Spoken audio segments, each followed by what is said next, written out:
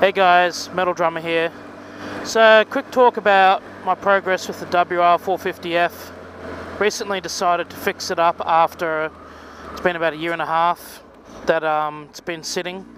So, what happened the night of the um, incident was at the time the WR wasn't in really good shape. It had no fifth gear. Um, suspected because I had no cush drive and the highway K's thing that um, theory I think worked.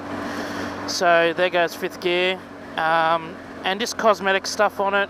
Hadn't had a lot of time to make it look nice, so it kind of just kept deteriorating. Exhaust was broken, you know, whatever, heaps of little things that don't really matter, but um, the night that I was riding it, that it blew up, uh, so to speak, its magneto stopped working, so the lights weren't working, and I just thought, fuck it, I'm just going to ride it anyway. Like, stupid move, but um, I just thought, Dillagaff. anyway, so the starter motor also that night played up, so I was having a lot of trouble getting it started when I real, and then I realised that the battery was flat because I'd been riding it with no magneto and all the charge had obviously been drained from running the bike. But it took a while, took over an hour before it um, started cutting out and playing up. Anyway, charged the battery up a bit, a bit of help from people where I was riding got me to push start it, got it started again, and um, and then it played up again. You know, just kept turning off, kept cutting out. Um, and on its final um, little burst of energy made a huge bang sound so I don't know if that was it backfiring or what. Anyway my mate and I had a look at it just recently. There's some shavings in where the starter motor is. So the starter motor gear isn't connecting properly or whatever. Um, and when we go to kickstart it it gets to a point where it just stops. Not like a seize but like a blockage or so yeah, something's fucked in there. So I came up with this idea of buying another bike, and at first I was gonna buy like a three thousand dollar WR, same model, running and whatever, and just put my plastics on it. But then I had this great idea to just buy a shitter with a good motor and gearbox and a little bit of other bits, and just from both bikes make one good bike. So uh, the best decision so far has been to take the motor and gearbox out of the bike I'm buying and putting it into the WR I already own and taking anything off the other bike like it's got new grips, new bark busters, all that kind of stuff. Uh, take everything I can salvage off it um, to make my bike better. And in the meantime, I've just been working on it every night. If you watch my Instagram or my Facebook, you'll see a couple little videos, you know, funny shit having a couple drinks and whatnot, and um, yeah, working on the bike. So I fixed up little things like the exhaust, it's been bugging me, fixed up all the little stuff, um, just cleaning the bike up, making it nice until I um, pick up this bike, which hopefully will be this weekend. I may not have a lot of time to do this engine and gearbox swap, but uh, I'm doing everything I can during the week so that the bike's at least ready when I, you know, when I can do it. When I get the time, I can just do it rather than have to do everything else first.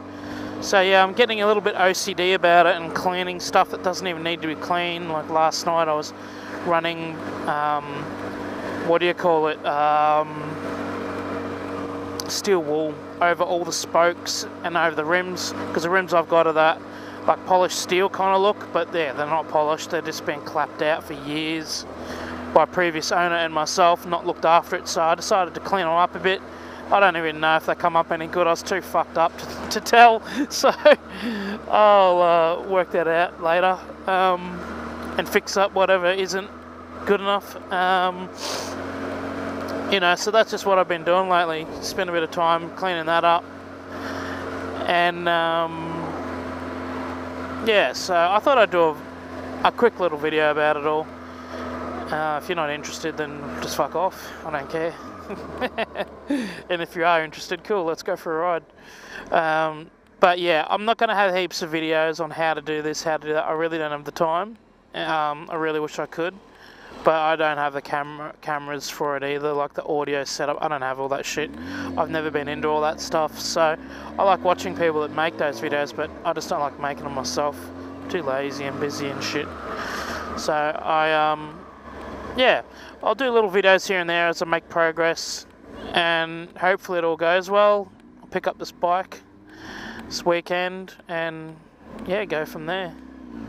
Also, just before, funny enough, I was um, I'm just riding home from work early, and I saw this guy walking down the road with a helmet, and I thought, hmm, I could give him a lift because I got a two-seater. I'm on the um, Hornet here, so I um, I said to him, oh, you want a lift? And he's like, oh, it's just up the road, but yeah, sure.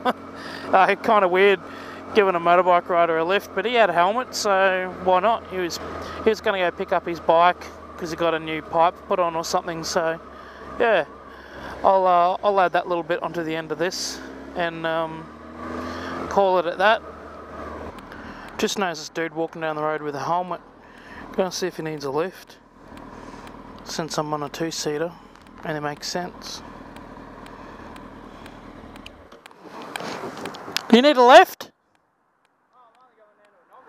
Because I'm two-seater if you want a lift. Yeah? Well, I just thought, I've got a two-seater, I'll give you, give you the offer. well, it's not very often you're going to get that offer, are you?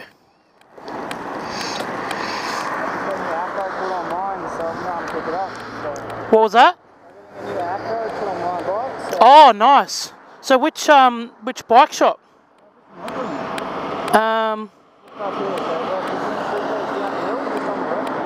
Oh yeah, yeah. I think I know. You're on. Oh, you're light. I thought you were still getting on. Easy as.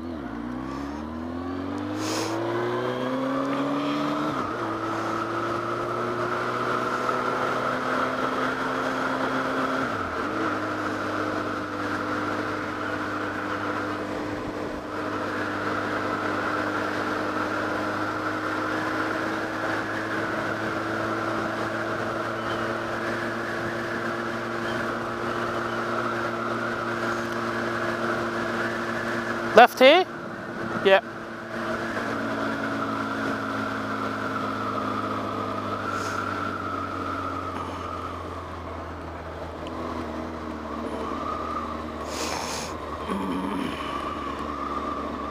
Uh, yeah.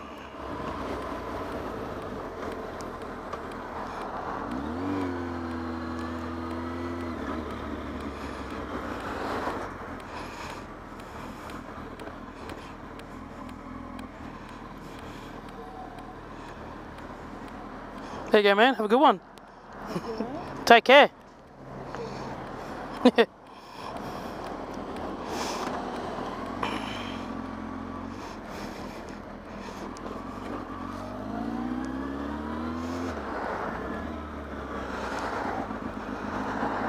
was interesting.